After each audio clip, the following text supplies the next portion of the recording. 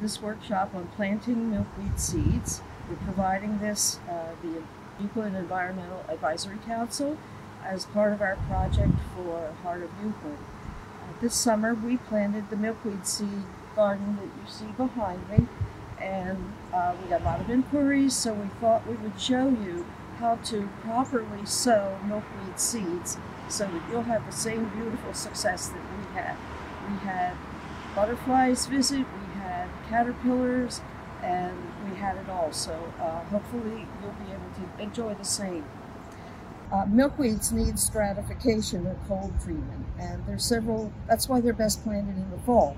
And there's several ways that you can sow your seeds. You can spread them on the ground uh, in the fall and let them, let nature take its course. Uh, you can put them in bags in the refrigerator, typically with some wet paper towels, and leave them for weeks or months until you're ready to plant them in the spring. Or you can do the technique that I'm going to show you, which is to sow the seeds in a plastic jug and be able to leave those jugs out on your deck or your, or your patio and let the seeds uh, stratify for the winter. So these are the materials that you need to do this. You need a plastic jug. I typically use kitty litter jugs, uh, as long as they're clear or semi-clear. Um, gallon milk cartons work also. You need soil, you need seeds, and you need tape to tape the jugs back together again, and you need marking equipment. So I've already cut one in half. I just cut it cleanly, and I've punched holes in the bottom, drainage holes, and air holes in the sides. So I'm ready to plant with this now. So I've got my soil. I've already wet it. It should be about as wet as it would be if you were planting anything in potting soil.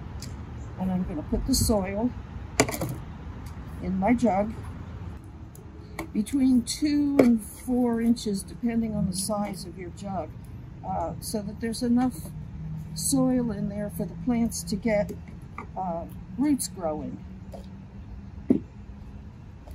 So that's what I've done. I put the soil in. Now I'm going to sow the seeds.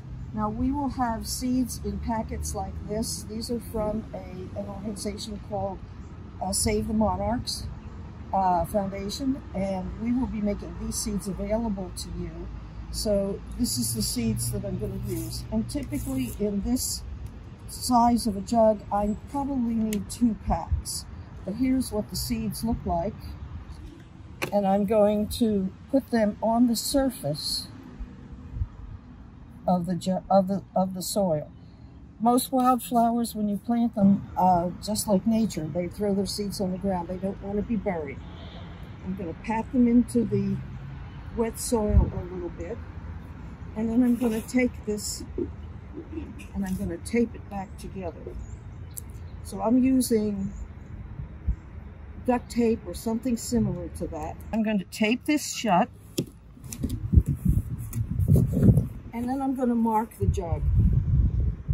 I usually just put a number on here because a longer uh, name or label is liable to weather off. So I'm going to call this 20, 20, number 2. And then I typically keep a sheet like this where I put the number and what I've planted in there so that I can keep tracking them. Another thing that you can do is put like a popsicle stick or something with a label inside as well so it won't get worried, weathered. So that's what I do. And then I put this out on my deck or my patio and I leave it all winter. So here I have these two I would stack them out there and just leave them. Early in the spring, in uh, March or April, you can start looking in and seeing, and you'll start to see seedlings. They aren't going to germinate pretty much until that time. That's the natural time. You can keep them wet. Make sure you might check them through the winter from time to time. Open the lid, check and keep them damp. And then in the spring, when you start to see your seedlings, and they seem to be fairly well established, and the temperature outside is starting to warm up, uh, you take the tape off, take them apart, let them grow a little longer in that jug to harden. You would harden them just like you would any uh, other plants that you're planting, like your tomato plants. And then you can plant those seedlings directly in your garden, or you can put them in pots and let them get a little bit more size. So that's pretty much how we did all of the plants for this milkweed garden. And as you can see, they got quite big. We have handouts, uh, two handouts available. They're available from links on the Uwchlan Township website.